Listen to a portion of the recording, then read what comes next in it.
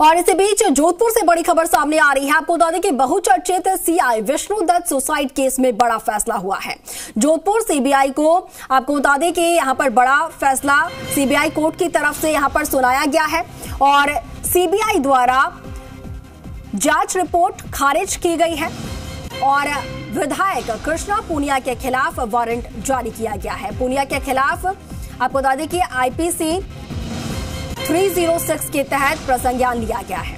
बड़ी खबर जोधपुर से यह सामने आई है, जहाँ पर बहुचर्चित CI Vishnu Dutt suicide case में बड़ा फैसला आया है।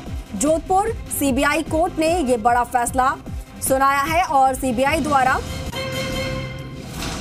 जाँच रिपोर्ट जो पेश की गई थी, उसे खारिज किया गया है। ज़्यादा जानकारी के साथ सहयोगी भवानी भाटी हमारे साथ फोनलाइन पर जुड़े हैं। भवानी पूरा मामला आपसे जानना चाहेंगे, उसके साथ ही सीबीआई कोर्ट की तरफ़ से क्या बड़ा फैसला सुनाया गया है, इसको लेकर भी जानकारी। देखिए जो बहुचर्चित के विश्वदत्त सुसाइड जो मामला है, उससे जुड़ा हुआ ये पूरा मामला है। और इस मामले में जो सीबीआई कोर्ट है जोधपुर, वहाँ पर आज मामले पर सुनवाई थी सुनवाई के दौरान कोर्ट ने जो है सीबीआई द्वारा जो चार्जशीट पेश की गई उस उस रिपोर्ट पेश की गई थी उसको खारिज कर दिया और सबसे बड़ी बात ये रही कि इस पूरे प्रकरण में जिस तरह से विजय कृष्णा पूनिया का नाम उछला था और कहीं न कहीं पूरे प्रकरण को लेकर के सीबीआई जाँच की मांग उठी थी हम्म। अब कोर्ट ने इस पूरे मामले में प्रसंज्ञान लेते हुए जो विधायक कृष्णा पूनिया है उनके हम्म। खिलाफ आईपीसी 306 के तहत प्रसंज्ञान लिया है तो कह सकते हैं कि कहीं न कहीं इस हम्म। पूरे प्रकरण में जो विधायक है रत्ना पूनिया उनकी मुश्किलें यहाँ पर बढ़ती हुई नज़र आ रही है। हालाँकि हम्म। कोर्ट का अभी आदेश सामने नहीं आया है हम्म। लेकिन इस आदेश में क्या कुछ अदालत ने कहा होगा वो आदेश आने के बाद स्पष्ट हो पाएगा